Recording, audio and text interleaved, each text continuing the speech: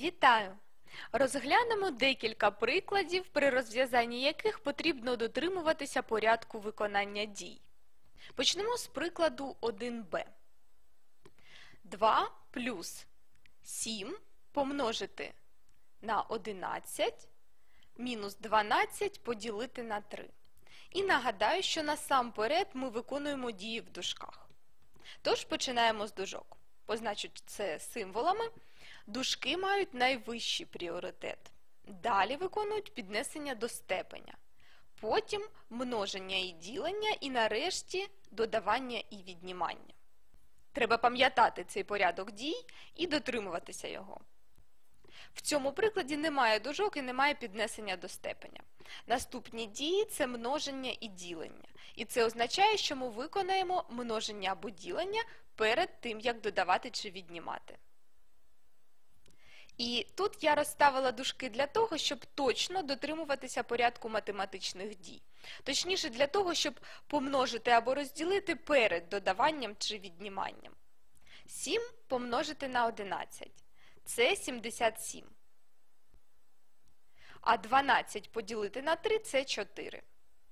І давайте я запишу все, що залишилося. 2 плюс 77 мінус 4. Залишилися тільки дії додавання і віднімання. Це означає, що нам потрібно виконати дії зліва направо. 2 плюс 77 це 79. 79 мінус 4 це 75. В результаті ми отримали 75. Наступний приклад 1Г. Він трохи цікавіший за попередній. Запишемо 1Г і його умову. 2 помножити на 3 плюс 2 мінус 1, дужки закриваються, поділити на 4 мінус 6 плюс 2 і мінус 3 мінус 5. Спростимо цей вираз. Я вже багато разів казала, що дужки мають найвищий пріоритет, тому спочатку обчислимо те, що стоїть в дужках. 2 мінус 1 – це 1. 3 мінус 5 – це мінус 2. 6 плюс 2 – це 8. Ідемо далі. Спробуємо максимально спростити цей вираз. 3 плюс те, що в нас вийшло, тобто плюс 1, це буде 4. Давайте я це перепишу. Отже, у нас є 2 помножене на весь цей вираз, тобто помножене на 3 плюс 1, а це дорівнює 4, тому я запишу 4. Тепер все це ми ділимо на 4 мінус 8, а це дорівнює мінус 4. І тепер я запишу мінус мінус 2. 2 помножити на 4 – це 8. І все це дорівнює, оскільки мінус на мінус дає плюс, то я заміню це на плюс. Отже, це дорівнює 8 поділити на мінус 4, а це мінус 2. І ще плюс 2 і отримаємо 0. Отже, ми розв'язали цей величезний приклад і в результаті отримали 0. Наступний приклад 2b. Я видалю ось це, щоб воно нам не заважало. Нагадування про порядок дій я залишу. Ось так, ще трохи залишилося тут. Отже, 2b. Обчислити вираз, що містить змінні. На перший погляд, досить просто. Давайте запишемо цей приклад. 2 помножити на y в квадраті. В умові також сказано, що х дорівнює одиниці, але це не має значення, бо в цьому прикладі немає х. А ще сказано, що y дорівнює 5. Знаючи, що y дорівнює 5, ми можемо записати цей вираз ось так. 2 помножити на 5 в квадраті. І зверніть увагу, я поставила тут дужки, але я можу записати це просто як 2 помножити на 5 в квадраті. Подивіться, піднесення до степеня записано перед множенням, тому я машинально написала ці дужки. Спочатку нам потрібно виконати піднесення до степеня, і ми отримаємо 25. 2 помножити на 25 це 50. Отже, відповідь у цьому прикладі, я краще запишу його темнішим кольором, все це дорівнює 50. Обчислимо приклад 2Г. Нам дано y в квадраті мінус х І все це в квадраті. Також дано, що х дорівнює 2, а y одиниці. Отже, нам потрібно просто замінити ці змінні в прикладі. Замість y ми пишемо одиниця в квадраті, мінус х, а х це 2, тобто одиниця в квадраті мінус 2. І все це в квадраті. Одиниця в квадраті це одиниця, значить це просто 1. 1 мінус 2 це мінус 1. І далі потрібно піднести мінус 1 до квадрата. В результаті ми отримуємо одиницю. Мінус на мінус дає плюс. Переходимо до прикладу 3b. Умова така ж сама, як і в попередньому прикладі, нам потрібно обчислити значення виразу, в якому є змінні. Нам дано z у квадраті поділити на x плюс y плюс x в квадраті поділити на x мінус y.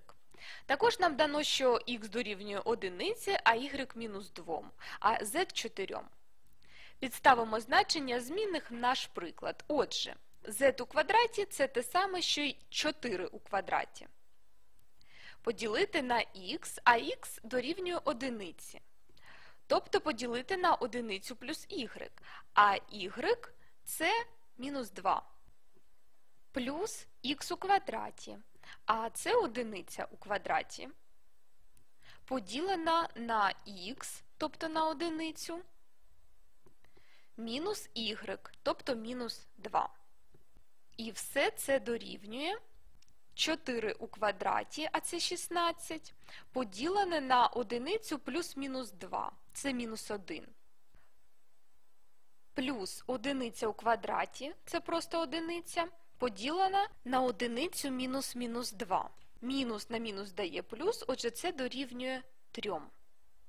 В результаті у нас залишилося 16 поділити на мінус одиницю, тобто мінус 16 плюс 1 третя.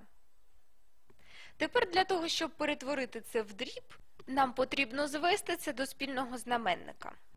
Мінус 16 можна записати як мінус 48 третіх. 48 третіх це ж 16. Просто переписуємо знак мінус. До цього дробу ми додаємо 1 третю. Спільний знаменник 3, тому давайте його відразу запишемо. Мінус 48 плюс 1 це мінус 47. В результаті ми отримали мінус 47 третіх. Наступний приклад 3Г. Умова така ж сама, як і в попередньому прикладі. Дано х у квадраті мінус z у квадраті поділити на х помножене на z мінус 2х помножене на z мінус х. Також дано, що х дорівнює мінус одиниці, а z 3. Тепер давайте замінимо всі змінні. х у квадраті це мінус одиниця у квадраті мінус z у квадраті, а це 3 у квадраті. І все це розділити на xz, тобто на мінус 1 помножене на 3. Мінус 2 помножене на х, тобто на мінус 1. Помножити на z мінус х. z це 3, а х це мінус 1. В результаті отримаємо. Ви ж пам'ятаєте, що спочатку ми підносимо до степеня. Точніше, спочатку ми обчислюємо те, що в дужках, а потім вже підносимо до степеня. Отже, мінус 1 у квадраті це просто 1. 3 у квадраті це 9. В чисельнику у нас буде 1 мінус 9, а це мінус 8. Подивимося, що ми отримаємо в знаменнику. Мінус 1 помножити на 3 це мінус 3. Обчислимо вираз, що стоїть у дужках. 3 мінус мінус 1. Це те саме, що й 3 плюс 1. В дужках маємо 4. У знаменнику залишилося мінус 3 мінус 2 помножити на мінус 1 помножити на 4. А це мінус 8. Мінус на мінус дає плюс, і весь цей дріб дорівнюватиме мінус 8 поділити на мінус 3 плюс 8. А це 5 запишемо це в знаменник. В результаті маємо мінус 8 п'ятих. Звільню тут е, трішки місця, щоб розв'язати ще декілька прикладів. Видалю все це. Отже, приклад 4. Потрібно правильно розставити дужки, щоб отримати правильну відповідь. Це вже цікаво. Отже, 4b. Запишемо умову. 12 поділити на 4 плюс 10 мінус 3 помножити на 3 і плюс 7 дорівнює 11. Подивимося, що ми отримаємо, якщо виконувати дії в цьому прикладі, дотримуючись порядку виконання дій. Так, 12 поділити на 4 – це 3. А тут 9 буде в нас. 3 плюс 10 – це 13, мінус 9. 13 мінус 9 – це 4. Додати 7 дорівнює 11. Так, здається, все вірно. Потрібно просто дотримуватися порядку дій. Здається, ми все правильно зробили, тому просто розставимо дужки. 12 поділити на 4 у дужках, плюс 10 мінус 3 помножити на 3 також у дужках, плюс 7. Здається, все вірно. Давайте ще раз перевіримо, щоб точно знати, що я ніде не помилилася.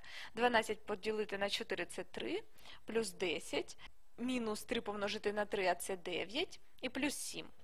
І це дорівнює 3 плюс 10 – це 13, мінус 9 – це буде 4, плюс 7, і в результаті ми отримаємо 11.